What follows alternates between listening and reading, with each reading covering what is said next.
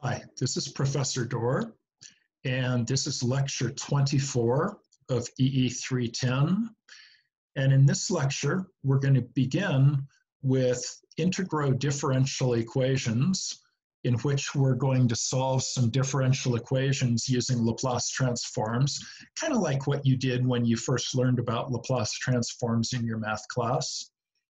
The second thing we're going to do is I'm going to show you how to look at convolution the way that I understand convolution, which is, to me, convolution is finite impulse response digital filtering. And once you see it in that way, all the math will follow behind the intuition. So hopefully once you see that, um, you'll always remember how to do convolutions um, like I do. And the last thing we're going to do is I'm going to give you further insight on Laplace transforms. And we're actually going to do some stuff with acoustics and Laplace transforms. And we're going to go through the Laplace transform roadmap and do some other useful things with it. And I'm going to use acoustics for my examples um, because I think they're easier to remember and they're also just a lot more fun. So let's start off and we're going to do a problem out of the book, this practice problem. And we want to compute y sub t and we want to get an expression for it. and y sub t is defined by this differential equation dy dt plus 3 times y of t plus 2 times the integral from 0 to t of y of tau d tau equals 2 e to the minus 3t.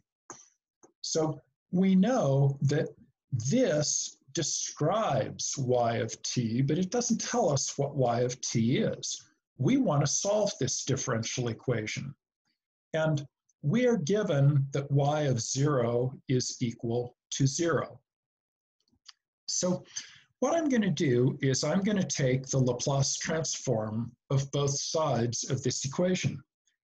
And I don't know what y is, but I can solve for it using the properties.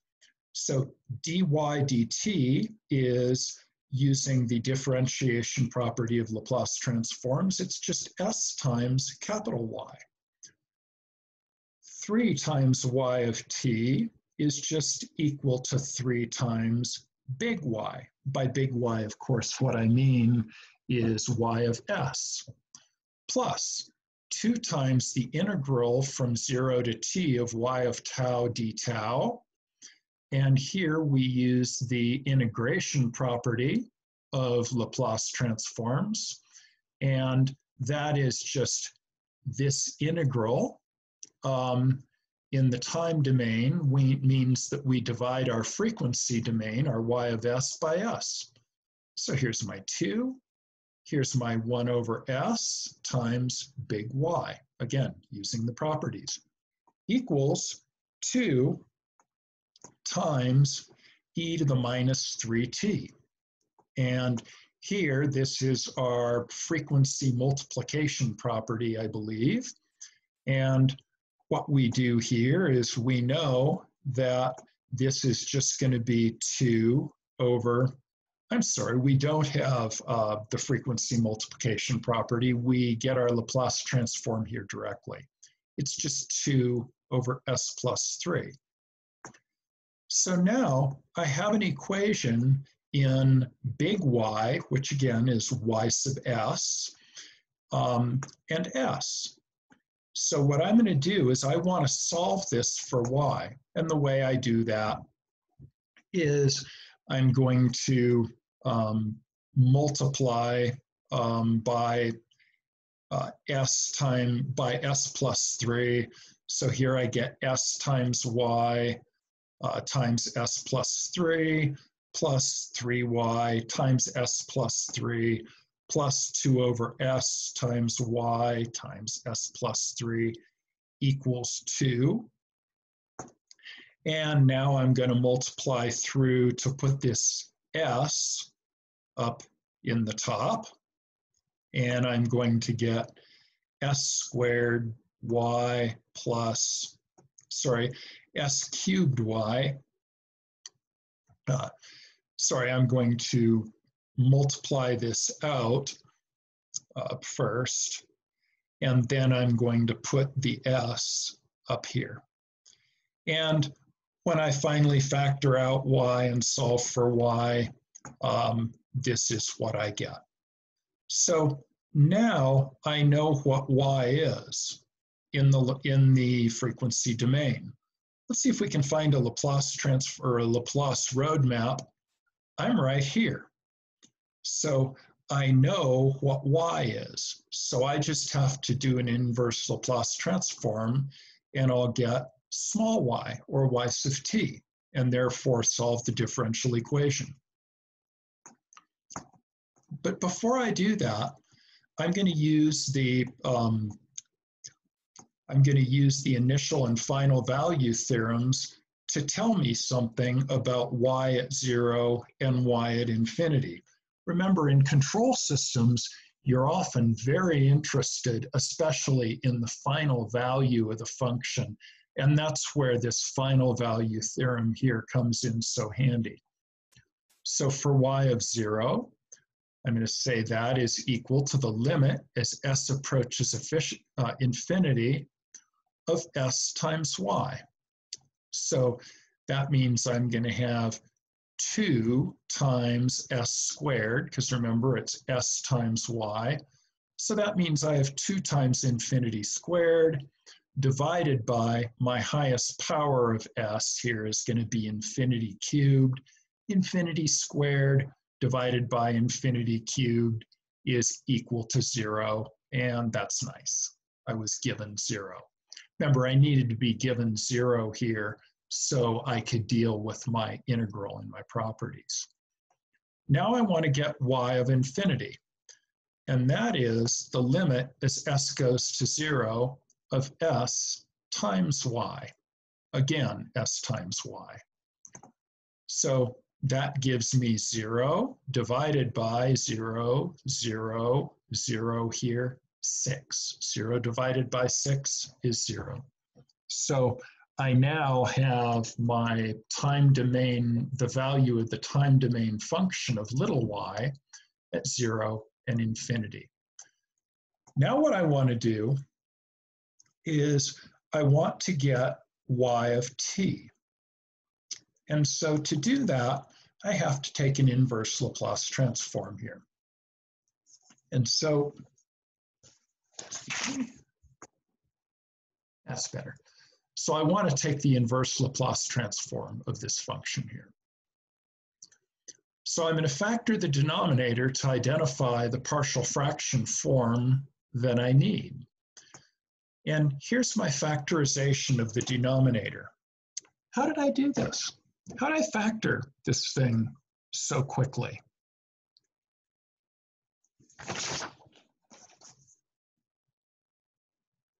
I used MATLAB. MATLAB's really good at this. And you've got it available to you at the school, and you'll likely have it available to you when you're working in industry. So I just use MATLAB. And what I see is I have three simple poles. So I'm going to have A1 over S plus 1 plus A2 over S plus 2 plus A3 over S plus 3. Remember what we call this? This is the guarantee. The simple poles, I can represent them this way. I got to just figure out what A1, A2, and A3 are. So I kind of like the method of algebra. And so what I'll do is I will put these over a common denominator. So my common denominator is going to be s plus 1 times s plus 2 times s plus 3. So a1 needs to be multiplied by s plus 2 times s plus 3. Here it is. A2 has to be multiplied by s plus 1 times s plus 3 plus A3. And A3 has to be multiplied by s plus 1 uh, times s plus 2. And this is what I'll end up with in my numerator, and I'm going to equate that to 2s. which is the numerator over here. I factor out my, I multiply these out, and I get s squared plus 5s plus 6. And the algebra is kind of getting a little complicated, and I say, you know, maybe I don't really feel like this. I know it's going to go to three equations and three unknowns, but that's too much work.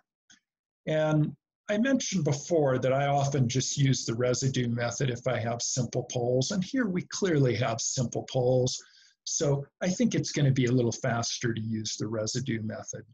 This is the only place where I use it. I don't use it for repeated factors or complex poles or anything like that. But here it is. A plus 1, I'm sorry, A1 is equal to S plus 1 times Y sub S and evaluated at s equals negative 1. So when I take s plus 1 times y of s, the s plus 1s are going to cancel, and I'm going to have just 2 of that, 2s divided by s plus 2 times s plus 3. And here it is. So now I'm going to substitute in negative 1, and here I'm going to get a 1, and here I'm going to get 2, and here I'm going to get a negative 2, and there's my A1. Similarly, for A2, I multiply y sub s times s plus 2, and that makes the s plus 2 factor out. And I just substitute in s equals negative 2 and here I am. Negative 2 plus 1 is negative 1. Negative 2 plus 3 is, is plus 1. So I get negative 4 over negative 1. I get 4. Similarly, with the residue method, A3 is equal to minus 3. So now, when I put my A1, my A2, and my A3 into my guarantee, I end up with this equation. And these Laplace transforms I get directly out of the table. Negative e to the minus t plus 4e to the minus 2t minus 3 e to the minus 3t times u of t. And y of infinity, let's look. That's going to be 0. That's going to be 0. That's going to be 0. I'm liking that. y of 0, I'm going to get negative 1 plus 4 minus 3. I get 0 again. So my Laplace trans my inversion of my Laplace transform agreed with my initial and final values theorems, which what I'm doing is just showing you how to check these things with those initial and final value theorems, though you may see problems on the on the final where I just ask for the value at zero and infinity where you'd want to use the initial and final value theorem. So that's integral differential equations. And so now let's move on and I want to give you some more insight about convolution. And for my point of departure,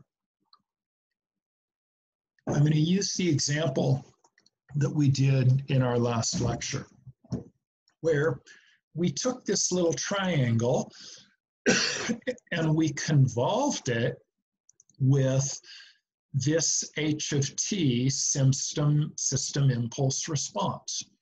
In other words, we had a, a system that had an impulse response that went up, stayed that way, and then went down. So I put an impulse in and I wait and I waited a little bit and then out came this pulse uh, at the output. So this is our system impulse. Or in other words, the system impulse response is the output that I would get if I put an impulse in. But I want to put this little triangle in.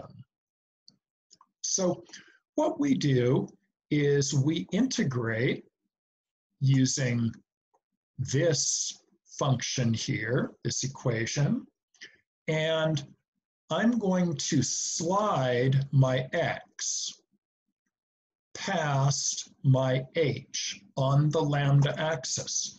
So h is going to sit nice and still on the lambda axis, right? Because it's not affected by time. But this offset of t here is going to cause my triangle to move through. And of course, since I have minus lambda here, that is going to make me time reverse my input signal. So what I want to do now is I want to give you a little more intuition. Let's do this integration as a sum. And here's what I'm going to do. I'm going to take my x of t, which is my input signal, and I'm going to feed, and it's going to go through this little bucket brigade of delay lines. So I'm going to take, if I put my little triangle here, and of course it's time reversed because I want to put the piece of it at t equals zero in first. Remember, this is our input at t equals zero right here. And if I want that, the beginning to go into my system first, which of course I do, I've got to time reverse it. So see, here is the function, but now I'm showing it time reversed. So when it slides in, the value at time equals zero goes in first. So if I put my time, if I put my little time reverse signal into this delay line, I'm gonna see it go, and then it'll just come out the other end. See that? If I put an impulse in this delay line, um, I'm going to see my little impulse go, and it's going to go right through. so that's the top piece. That's our delay line. And it looks kind of like a shift register to you compies, doesn't it? Um, think of having a very high speed clock and think of this being a path with multiple bits so we could actually put a signal you know that was not just zero or one through it and it's a shift register so this this delay line this is the lambda axis and that is the key the delay line is my lambda axis remember up here and in the, the uh, example we did last week, we time reversed our input and we slid it past our, our impulse response. So now, here's my time reversed input. I'm gonna slide it through here. So this delay line is my lambda axis. So now what I'm going to do is I'm going to tap off this thing. So I've got these, I'm going to pull the signal off here, and I'm going to multiply this by something I'll call h of 0. And then I've got a tap a little later in the delay line, and that's h1. And then I have a tap a little further in the delay line, that's h2, and we go along here. And here we get H6 or whatever. And this thing can go as long as we want it to go. We can have as many taus and as many H's as we want. And let's look at that. These values are a discrete representation of H of t, or in other words, this. So this one might be this down here at zero. H1, oh, that's going to be here. H2 is going to be here. H3 is going to be here. H4 is going to be here. And we said H doesn't slide along the axis. H sits still. Well, boy, H is sure locked to the axis here. Let's put an impulse through our system. So instead of putting this through, let's put an impulse in. So the impulse hits it, the output, I'm sorry, I didn't mention the summing block. I'm going to take these, we call them weighted and delayed values, and I'm going to sum all their outputs. So let's slide an impulse past here. When the impulse is over here, nothing's going on. When the impulse gets here, we're going to multiply it by this one right here, and I get a one, and I see it right here. That impulse goes through, and now I get a one here, and I get zero everywhere else because I only have the impulse here. Then the impulse gets here, and I have another one. So see how as the impulses are sliding by, they are getting they are ending up in my output.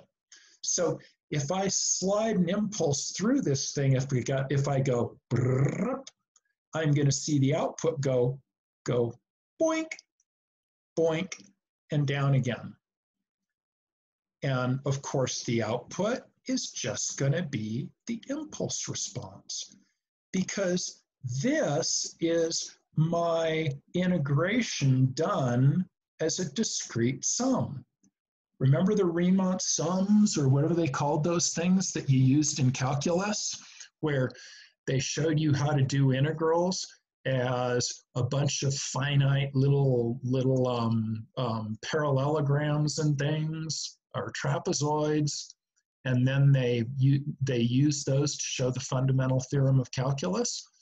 Well, what we're doing is we're taking the integral and we're going backwards. So our lambda axis is our delay register. The function, the impulse response of the filter is our set of weights here. It's just a discrete version of this thing. And the integration sum comes out right here. So we saw that when we put an impulse through this thing, we got the impulse response. Well, now, can I just shove my time reverse little triangle in? Okay, in it goes, its nose hits here, and then its nose is here, but kind of a little behind it is over here, and then we eventually get the whole thing in here, right? This thing is sliding across, and this sum is giving us the sum of all these. So this to me is convolution. And um, when you take 410 or when you take DSP, you're going to see that this is what's called a finite impulse response digital filter. These are actual, um, this is a shift register, and inputs get clocked through at a pretty high rate. And then they get multiplied by these constants that we store in the memory of the digital signal processor and then we add these up and we get the digital output. So this thing's a digital filter. And the tap weights represent the impulse response of the filter, and we just slide the input through it to get the output of the filter. So when I was showing you convolution, this is the picture I had in my head. And I want you to have this picture in your head, partially because it'll help you remember convolution, but it will also um, make digital filtering easy for you when you get into 410 and when you get into DSP. So, convolution. Remember, we said we can take a time domain input, convolve it with the impulse response of the filter, and out it goes. And this is what a digital signal processor does. It's a discrete convolver. And I have to tell a little bit of a story about when I was in school. when I took this class and I learned this material, we were taught you never want to convolve. Convolve is like lima beans. You know, nobody eats them, but you use them just to scare kids. So if you found yourself having to do a convolution, you were in the wrong domain. So if you if you find yourself having to do this, don't do that. Go down and over and up. So that was kind of the take home message about convolution. Of course, we saw the integral just like you did, and we worked with the integral and the triangles and half sinusoids and that, but there was really nothing practical about it. So I graduated from Cal Poly in 1984, and when I got my first job and I had my first uh, office, uh, I got a subscription to Electronic Design News magazine, and I thought I was really cool because you know I'd always seen real engineers get Electronic Design News magazine, and now I got it. And my first copy showed up on my desk. I was so excited, and it was the copy that showed the product of the year. And back then, the product of the year was the Texas Instruments TMS 320 digital signal processor. It was a brand new thing. It was a different kind of microprocessor. And what the TMS 320 did is it was a digital convolver. It was a machine that was optimized for convolution. And it was the product of the year. And I thought, oh boy, I just got an education that said, go here, go down, go back up. And the product of the year is this box right here. And I thought, wow, I just got a little piece of my education uh, just became obsolete in the two weeks since I graduated. So I'd moved down to San Diego, so I went and listened to a couple of Fred Harris's lectures. Um, you've heard me refer to him before in this class. And Fred explained digital signal processing so well that I never, I never took a class in it. I just understood it from his lectures and then I studied on my own. And when I had my business, it was all about doing DSP and all the digital radios that I do are, are digital, um, are DSP based. But I think it's kind of funny that we were taught that there was nothing useful about convolution, but boy, is there now. Um, digital signal processors are very common, and they do exactly this. And that's why um, they are replacing so many analog systems. And please go back through this until you understand this, because if you understand this, you will never forget it and you'll just laugh at the math. The math will just support what you already know here. Okay, so if I put my little triangle in here, I put the piece of the triangle at t equals zero first, in it goes, and I get this output just like we saw in the last lecture go through this. Um, ask about it at office hour. I will happily bring this up at office hour. I'll go through it till I'm blue in the face because I really want you to understand it. Okay, so now we're going to go through uh, the Laplace transform roadmap in a different way. What I'm going to do is I'm going to compute the frequency response of a system. And we haven't done that. We've said we get a time domain input, we get a Laplace transform, we uh, multiply the Laplace transform um, by the frequency response or the S domain transfer function, and we invert it. And then we noticed this cool thing where we said the Laplace transform of an impulse is just one. So what that means is that the impulse response of our system um, is just the inverse Laplace transform of our S domain transfer function. Very interesting. So what we're going to do now is we are going to determine the impulse response of a system. And then we're going to take that impulse response and we're going to compute the S domain transfer function. And then from that, we got the S domain transfer function. Let's plot the frequency response. So we're going to measure the impulse response. Um, in our first example, we're going to kind of pseudo calculate it, but then we're going to measure it.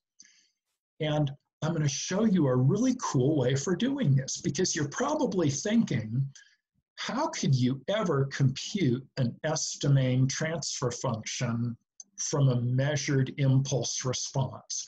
And you're going to see that the properties of Laplace transforms are going to bail us out, and we're going to be able to do it.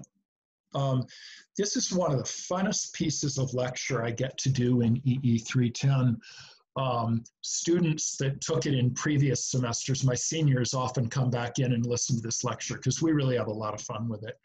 Um, I won't be able to bring my trombone to this lecture and give you some of those examples, but we can do all the rest of them. So what we're going to do is we're going to feed an impulse into a system. Here's our impulse.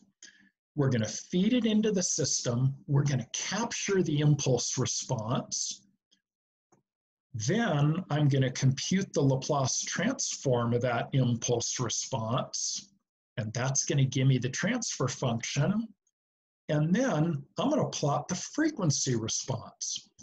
So I'm going to get the frequency response of this system by lighting it up with an impulse. And I'm going to do that with room acoustics. So here's a room. And it might be um, a lecture hall at SDSU. And here's the podium. And we're going to make our room kind of a simple room. We're going to say that we have four paths for sound to get to the listener. Here's the person talking, and here's the listener. The first path is the direct path. So from the podium straight into the listener's ear. And I can characterize that path, we'll call it path one, as an amplitude and a delay. And these are actually good numbers. I actually kind of worked this out. So between here and here, the amplitude is a half. So we'll say half my voice, uh, my voice energy gets here, um, or half my voice intensity gets here, and it's delayed by 35.4 milliseconds. So I have an A and a tau. Now let's go to path two. Path two um, goes off the back wall. So it goes all the way to the back wall, gets reflected, and then um, reaches the listener. And here there's some attenuation, partly because it has to go further, but also partly because the wall isn't perfectly reflective. In reality, my voice energy from the stage actually heated up the wall a little bit, and so it lost some of its energy in the reflection. And that's why the amplitude is less than the direct path. It's only 0.15. And you can see that the time delay is a little greater because it went further. Now let's look at path three. Um, path three um, doesn't have as much absorption, might be because there was a picture or a piece of sound absorbing material here where here you had a block wall. So the reflection was pretty in, um, efficient and so our A is greater, it's 0.4. And we've got a pretty long path here, and it's 62 milliseconds. And now path four, um, it's pretty absorptive, so my A is only 0.2, and my delay is 71 milliseconds. Now, you can see that my delays don't really match my vectors, but you got to just work with me on this. I've got this room where I have these four paths between the stage and the listener. So given this information, I want to compute the frequency response of the room. That's pretty cool. Frequency response from here to here. It's kind of interesting. I want to get the impulse response of the room. And then I want to get the response of the room to an arbitrary input. So I want to be able to tell what's this listener going to hear if I play a sound up here. Um, and this is what they do when they design concert halls. Um, they model them so that you can basically get the frequency response for every seat in the house. And I'm going to show you how to do that. So I can get the impulse response of the room by inspection. And let's look at how we're going to do it. I'm going to put an impulse here, pow. Okay, I'm going to get um, the first impulse response. First impulse my listener is going to see is from this path and he's going to see a little impulse go by. And then he's going to see the impulse from this path go by. Then he's going to see the impulse response impulse from this path go by. So if I'm the listener and up on the stage they hit a single impulse, whack, what the listener here is going to hear is hear the echoes? The listener is going to hear each individual um, impulse. So we made one, listener hears four. But all we're really doing is delaying and attenuating the impulse. So here we go. Um, here is what the listener hears. They hear a the, the direct path, path two, path three, path four. I can, I can um, uh, uh, write that impulse response mathematically. It's going to be A1 or the amplitude um, of the direct path, A1 times delta of t minus tau 1. Cool, I just shifted this impulse plus amplitude 2 times delta of t minus t2, tau 2, plus a3 times um, delta of t minus t3, plus a4 delta t minus t4. This is a mathematical function that describes the impulse response of this room. Okay, so where are we? Um, I now know the impulse response because I measured it. Now I'm going to take the Laplace transform of that impulse response, and I'm going to do it just using the delay property. And so that means uh, delta of t minus tau 1, well, I know that the, M, the Laplace transform of my delta is just 1, but I'm going to delay it by tau 1, which means I'm going to multiply the Laplace transform by e to the minus tau 1s. So here we go. a1 times e to the minus tau 1s plus a2 e to the tau 2s. See that? The Laplace transform of my impulse response, of my impulse, is just one, but I account for the delay with the e to the minus tau s. Here they are. This is a S domain transfer function. Okay?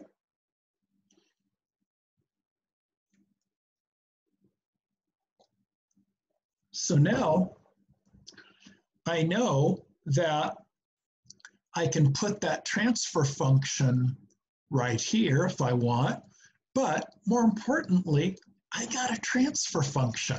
Let's see what its frequency response is. It's just a function of S, right? So we're going to substitute in S equal j omega, and I'm going to use that little compute frequency response script that I gave you. Um, and here is the frequency response of that room from zero to 1000 hertz, and I plotted it in dB. This is the frequency response of the transfer function between the person up here singing or talking or whatever and this listener. This is the frequency response from here to, sorry, my mouse is on a sticky surface. That's why it's so jerky. Let's see if I can put it on here. That's better. Okay, so frequency response from here to here. We evaluated it based on all these delays. And here it is.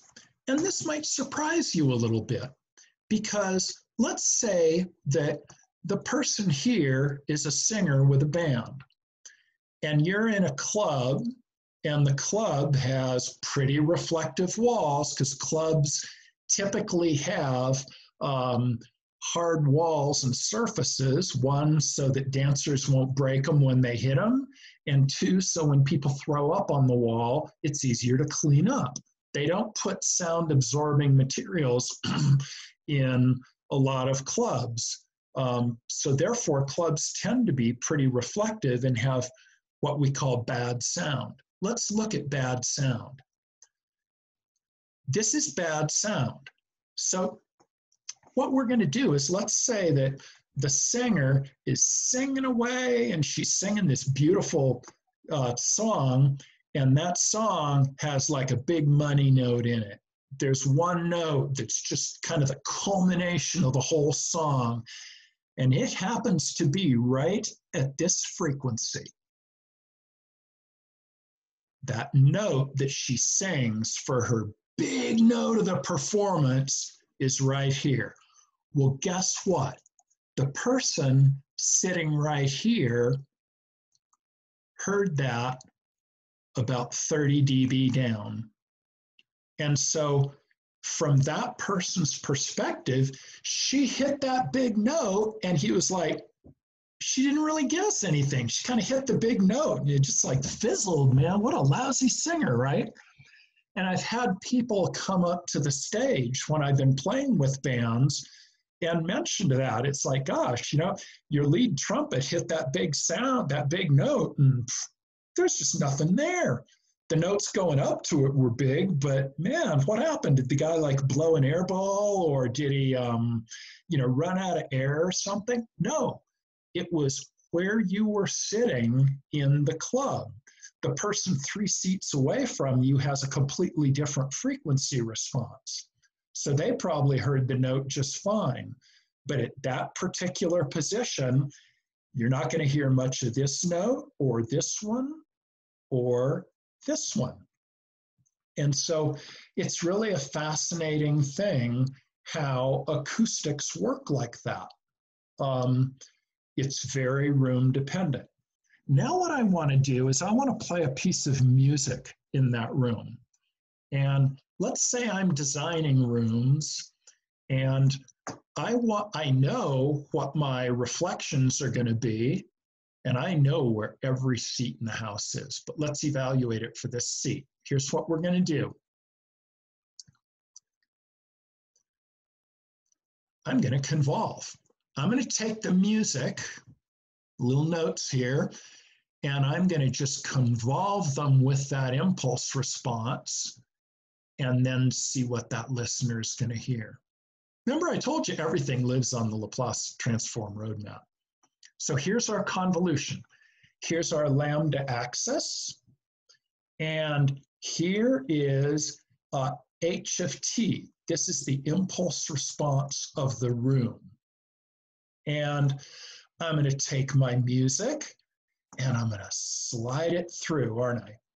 I'm going to slide that music right past there. Um, when we did our measurement of the room, we just slid an impulse past here, and that gave us the impulse response of the room. But I'm going to slide the music past here. And you notice that my first note is here. My last note with the fermata on it is right here. So if this is Beethoven's Ninth Symphony, here's the first note, here's the last note. Slide it through that room response, and, and then the output of the convolution is what that listener would hear. So what would this sound like if there were only one path, just one impulse? Well, let's say um, it's this impulse and all the other ones are zero. Then when this slides past this one impulse, it's just going to carve out that one sound, that one little piece. And I'm going to hear a perfect delay. Because see the delay here in the lambda axis? So now let's take this, and I know that went by, by kind of fast, but go back and review it. Let's look at how recording studios work and how they use convolution.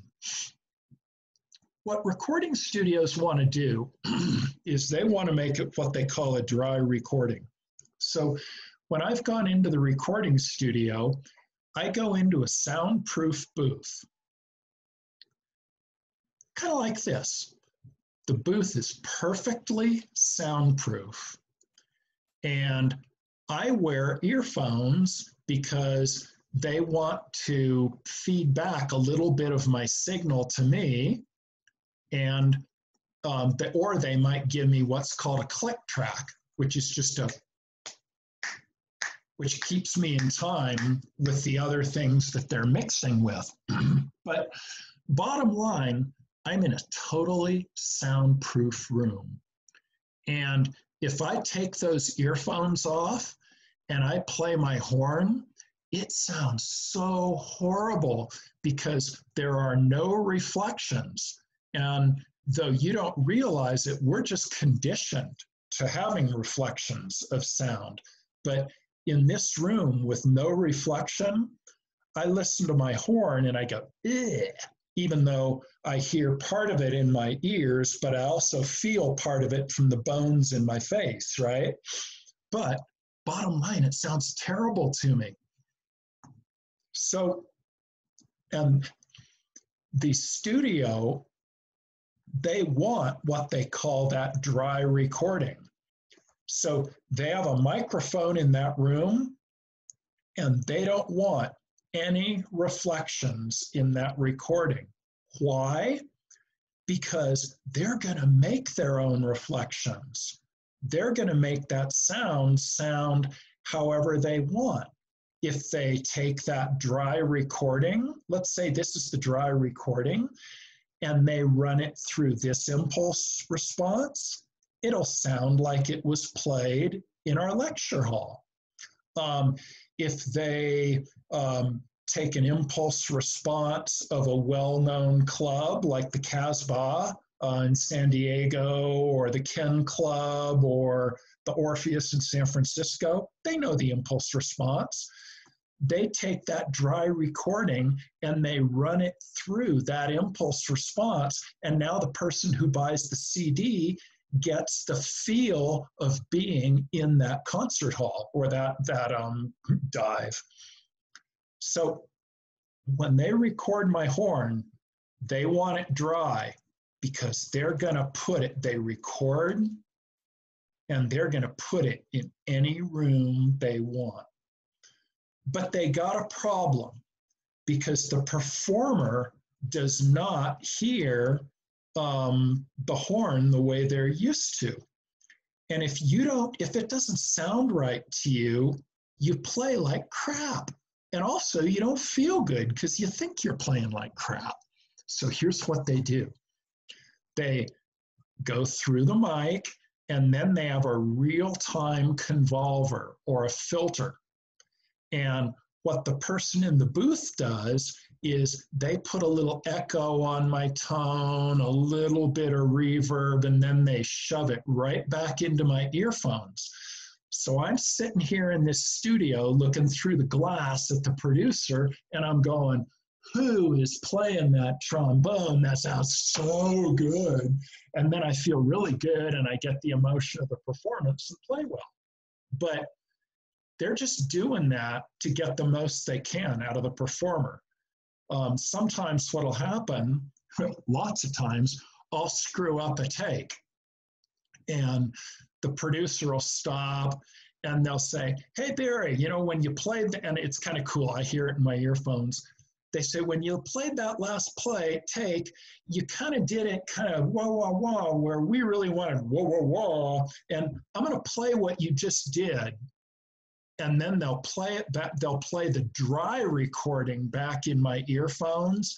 And I go, ick, that sounds horrible. But when I played it, it was going through the real time convolver and it sounded beautiful. So, this is basically the whole recording studio thing. They end up with a, a dry recording. I get a couple of I get a couple of hundred bucks and a couple of beers and some pizza, and then I listen to the recording. You know, I listen to the CD when it comes out, and I usually go, wow, that is better than me. Because not only did they put it in a really good room and did they mix it down real nice, but they took all my mistakes and kind of moved them around and fixed them. Um, so, anyway, this is kind of a fun thing. And what I like about it is you got that real time convolver in there and you got the ability for them to convolve that dry recording with any room they want. So, rooms. I don't know if you guys saw Indiana Jones, where the guy said, That's not a knife, that's a knife. And I always think about this when I show you York Minster, because this theater, theater, church was made in the 14th century. And it is huge. And look how acoustically complex it is. It's got all kinds of nooks and crannies, and it's got big old pillars, and they have all kinds of gargoyles and all kinds of interesting things. And so, from the front of the cathedral back to the back, you don't just have four little paths, you have four million little paths, right? You got a ton of paths from here back to anywhere in that in that cathedral. So what do you do? Let's go up here. Up here, we said we had four paths. And our impulse response was really pretty easy. It just had four terms. Why can't I sample the impulse response here, why can't I shoot an impulse response off at the front of this church and then sample the impulse response at a really high frequency, at a really high speed, at a high sample rate, and then say that each of those samples is a certain amount of delay away from when I started my impulse. So what let's do is let's listen to the impulse response of that cathedral. So what we do is we're going to fire off an impulse at the front of the cathedral and we're going to record it in the back of the cathedral. And here it is. Listen carefully.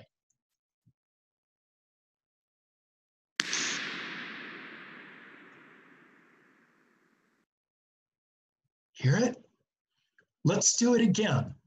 It sounds like a, a gunshot or something. Listen.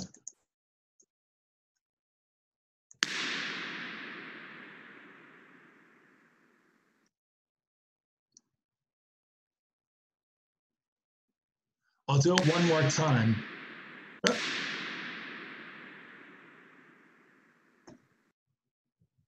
Okay, so what you just heard was this, and look at the direct path. Here's the direct path way up here.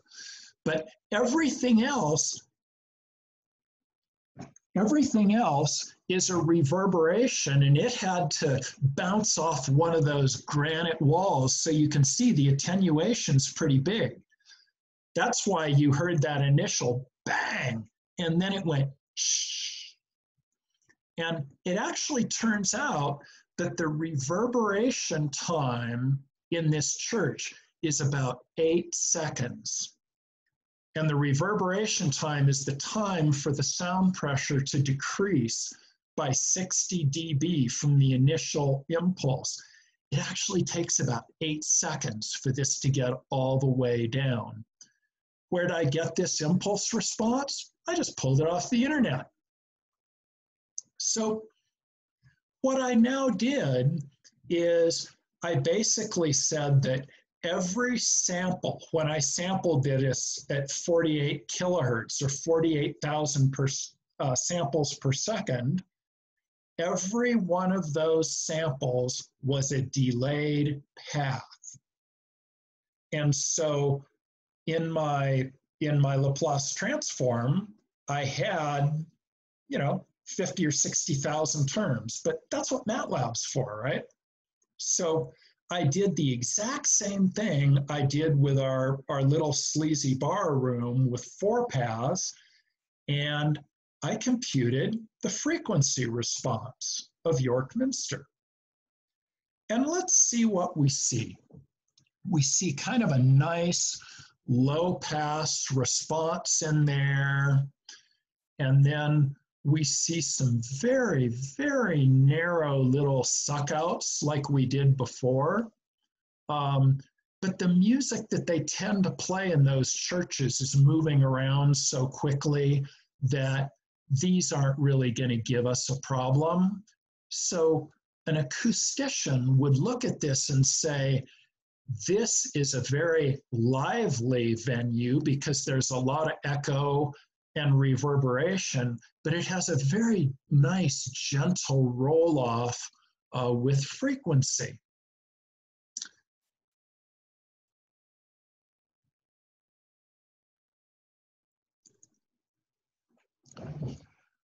So now I have the impulse response of the York Minster Cathedral, and I've got the frequency response, which is kind of cool. And I'm going to do just what this sound engineer does. I'm going to take some fairly dry recordings and I'm going to run them through York Minster Cathedral.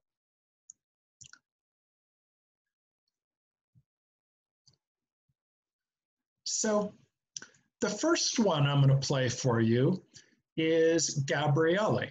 This was written in about 1570 um, it's absolutely beautiful music. I love playing this stuff in my on my horn um, in in churches. Uh, I've played this kind of stuff at La Jolla Presbyterian Church, which is uh, beautifully reverberant. But let's play this music um, and see what we get. So first, I'm going to play um, as close to a dry recording as I could get um, for the Gabrieli. So listen to this.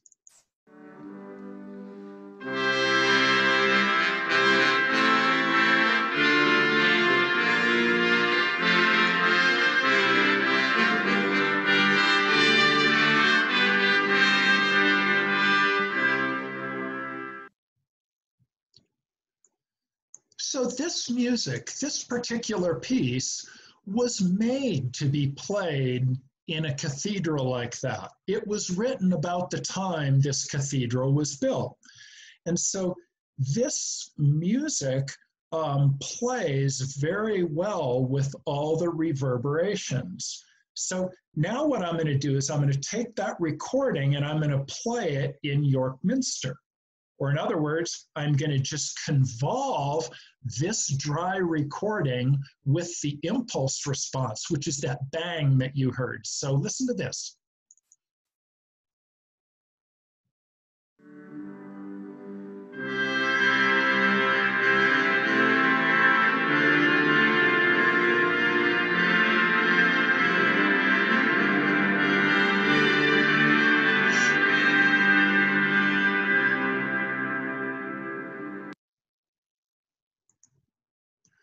So what you what you heard is that everything was kind of smeared together a little more, but it really still sounded pretty good.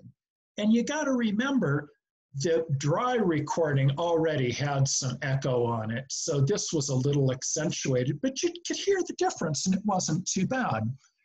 Now what I'm going to do is play, um, I'm going to play some Louis Armstrong, and I'm going to give you the dry recording here. So here's Louis.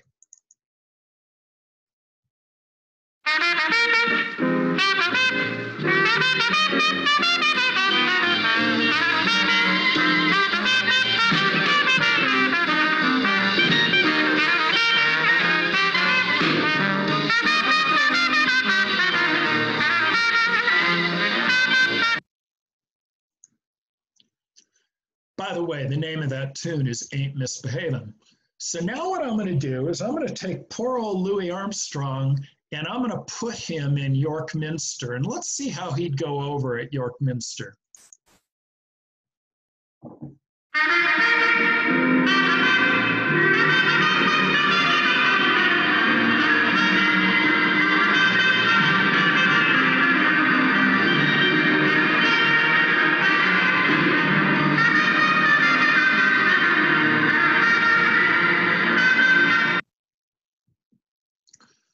So what you can see there is Louis Armstrong would probably get booed off the stage because you could kind of hear his trumpet, but you sure couldn't hear his band. It was just a big mess.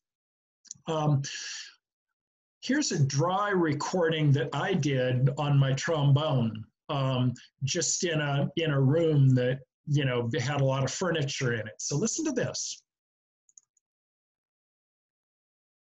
Now,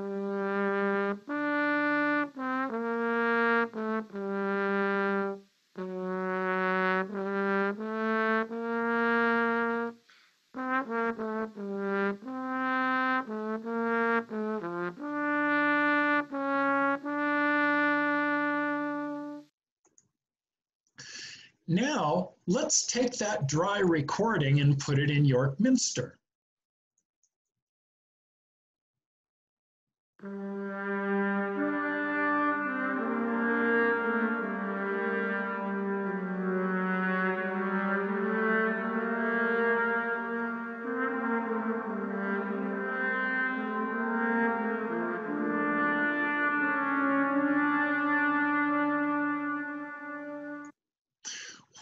Difference, huh? It makes a huge difference. Now, what the reverberation does musically is if this is the piece of music and this is the piece of music delayed, what, what the listener is hearing is the piece of music and then delayed versions of it. So what the masters like Gabrieli and Monteverdi and those folks did is they wrote music so that it could be shifted and played on top of itself and the actual chord structure of the music changed. Um, and it changed depending on the seat you were in. So it's just a fascinating thing. And I contend, and I, I, I, teach a lecture on music and engineering that I've done for, for Qualcomm and Viasat and such. And I make the point that I believe that music had to develop with architecture. Because back in the old days, you could not have sound absorptive rooms because the mold would get in them and everybody would get sick and die. And so rooms typically had, you know, granite walls and things like that. also, they had no ability to record music. So if somebody was playing music, if people wanted to hear it, they had to come listen. So they typically played in big, reverberant uh, rooms. So it wasn't until um, we had recorded music that we could have uh, music like Louis Armstrong plays. Or it wasn't till we had rich people with parlors where they could play chamber music, which moves much faster than this Gabrieli um, uh, music. So it's really a fascinating thing. And it all relates to the convolution um, and the Laplace transforms that we've doing, we've been working with. Now, before we, we leave this lecture, since we've talked so much about um, recording and venues and things like that, let's look at the sound system on a stage in a club. And this will give you something fun to tell your friends at parties because you've all seen the mixing board when you've been to a club. Actually, sorry, you're engineering students. You don't go to clubs, but one day you will after you graduate but you see the big mixing board in the back of the room and it has all the lights and it has all the knobs and you go like what is that? And i'm going to show you real simply how it all works. So you've got your performers up on stage and your performers want to just play so that everything sounds right to them like I'm this guy here on my horn, and I want to play my horn so that it fits in well with the singer and the drummer and, and whoever else. If I feel I'm too soft, I'll heat it up a little bit. If I feel like I'm playing too loud, I'll back up a little, I'll back off a little bit. Um, but all of us are just playing like we're playing in a small room because it has to sound good to us. And so, but that's not how it's going to sound when we're all playing into our mics and it's getting blasted out these big speakers. But it has to sound right to us. So here's what they do. Because out here, the sound is a mess out in the room. So we have these little wedge monitors in front of us. And in my monitor here, what I'm getting is I'm getting the singer mixed in, and this is one of the little knobs on the sounding board. And I am getting the drummer mixed in into my monitor, and I'm also getting me mixed into my monitor because it's so darn loud on stage, I can't hear my horn. The only way I hear my horn is partially through the bones in your face, but mostly it's coming through my monitor. So I'm getting the singer and the drummer and me. Usually there are a lot more voices, but I'm just showing three. And similarly, the drummer, the mix that the drummer is getting in their monitor comes from the horn, the drummer, he, him or herself, and the singer. And same thing, the singer is getting a mix of the drummer, the singer, and the horn. And so before the gig starts, they do what they call a sound check. And the sound engineer is sitting way back in the back of the venue, back in the, the back of the room. And what the, the sound engineer will say, okay, trombone player, I'm going to set your monitor. And then he'll say, drummer, give me a little. And the drummer will do some drumming, and I'll stand up on stage and give him a thumbs up or a thumbs down. Turn the drummer down, or turn the drummer up a little bit or I may say, give me more high frequency response from the drummer because I got to hear that hi hat to know where the beat is. And it's okay, you get drummer's okay? And I'll say, yep. And he says, okay, singer, sing a little bit. And so the singer will sing, and I'll be on my horn, on my my spot here, telling him, give me a little more singer, give me a little less singer. And then he'll do the same thing for the drummer and he'll say, hey, trombone player, play a little bit. And he'll adjust everybody's monitor. And by the time we're adjusted correctly, we feel like we're just playing in our practice studio because everything's fed back properly to us. Now, the sound engineer, the reason the sound engineer sits in the back is because here are, the, here are some really important mixes, namely this big speaker and this speaker. So the sound engineer is sitting back here listening and has to make the decision of how much of each performer goes into what they call the mains. So after we've done our sound check and it sounds right to us, he'll say, hey, just play one of your tunes. And the sound engineer sitting in the back will adjust all these until he's got the mix just right for the for the, the venue. So that's at the beginning of the night. All those knobs are adjusted so all your your performers are happy and you've got a mi good mix coming out the mains. Um, and we will usually tip the sound engineer when we get there because what you don't want the sound engineer to do is go hit the bar after he gets the band started and then um, have too many drinks during the show. And here's why because the room fills up with people. And as the room fills up with people, all the acoustic properties change.